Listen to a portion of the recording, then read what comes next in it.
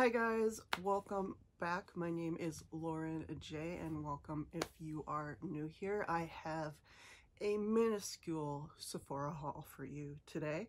Um, it's actually for me, but I'm sharing it with you. So uh, it's that time of year. They just have the VIB sale for the holidays. So um, everybody else is sharing theirs, so I thought I would share mine. It is tiny, tiny. So I thought it might be a nice alternative. So if you're interested in that, keep watching. All right, so this is the box. You can see it is not very big. Um, so let me show you what I picked out. So the Sephora VIB sale, I am VIB, so I got the 15% off. I have never spent enough to get the Rouge, VIB Rouge 20% off. Um, however, um, I just decided that, well, there is at least one thing that I want that is really expensive and that never goes on sale. So I might as well take advantage of the 15% off and at least try to get, you know, some kind of discount um, before it goes out of stock. And I have a feeling that it will go out of stock. Um, anyway, so I'll just pull it out and show you. So it is this, it is the replica lipstick on perfume. And it says replica lipstick on 1952 Chicago. And it is the Night Blush and Rice Powder fragrance. And it is labeled as a female fragrance. I think you can label any fragrance anything you want, um, but the packaging is always really lovely. There's some embossed um, calendar lettering on here for the Margiela replica style. And then you have the ingredients on the back. And then we'll just open it up.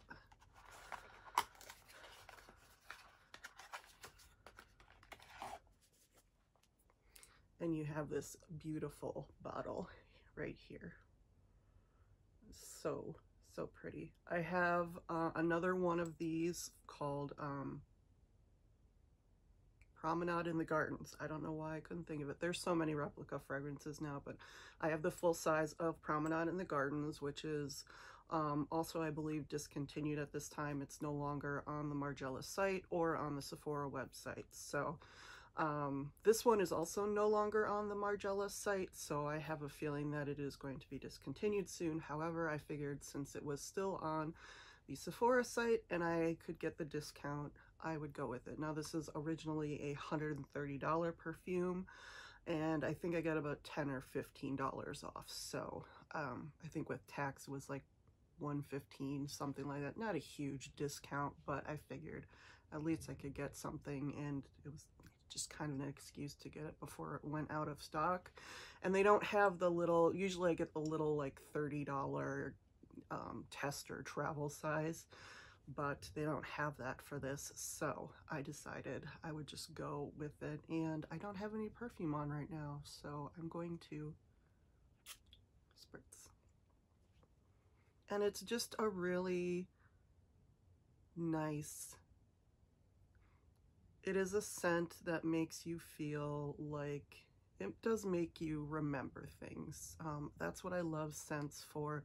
I know on YouTube there's sort of a bent towards very sweet smells and um, there's sort of a nobody's into rose, nobody's into lavender. They don't like very classic smells. I mean, I love Chanel number no. 5. I love very classic perfume smells, but I also love just very complex and different smells like the Margiela replica perfumes have. I have probably almost all of them in either travel size or tiny little tester size or this size. So I am super happy to have this and to sort of add to my little Margiela collection. Um, not that it's really huge. I just have one other big size besides this, but that was my purchase for the VIB sale. And I'll just show you some of the other extras that I picked up. One was a 100 point perk, and I can't remember which one it is. And two were just um, samples. But I think maybe it was this one that was the 100 point perk. And that is this little um, sample from the Natasha Denona, Natasha Denona, excuse me, Camel palette. And there is just a little matte shade right there. Um, you just open it up. Maybe. And as you can see, it's just a little matte shade. It's like a little, it's called Zand, Z-A-N-D. And um, I have another one of these that I picked up from the bronze palette. So I just like collecting these little sort of singles. I just put them in my Z palette. And that is how I experienced Natasha Denona because I am, everybody on YouTube is loving her right now, but I just, I can't afford it and I can't justify 65 dollars for a small palette and $129 for a large. I just, I can't do it. So I just, this is my little 100 point perk. Technically, I guess I spent like a $100 to get this because I think it's a dollar or 1.25 points per dollar, whatever it is when you're VIB, but you got to spend them on something. And there's not a ton of things to spend on the Sephora Bazaar um, that's really worth it. So we have that. And then I did get this little um, Patrick Starrr one size go off juicy makeup remover. Um, there's just one in here. Um, I'm just going to use it for swatches. I don't really use wipes on my face, but I figured I would just pick that up. And then I got the Kiehl's Ultra Facial Cream, which is just sort of a staple of size, you know, samples on the Sephora website. So that is my minuscule Sephora haul. I am super happy with what I got. I am proud of myself, I guess. I don't know. I don't know. I wouldn't say, nah, I'm not going to say I'm proud of myself. I am satisfied with what I got and I'm happy that I didn't feel the need to buy a whole ton of stuff. There were things that I was definitely thinking about, like those little quads from Makeup by Mario or by Mario, um, and some of the Fenty sets and glosses, but I just decided I have enough eyeshadow, I have enough lip stuff, and so I'm just to go with something that I've wanted for a while and that never goes on sale.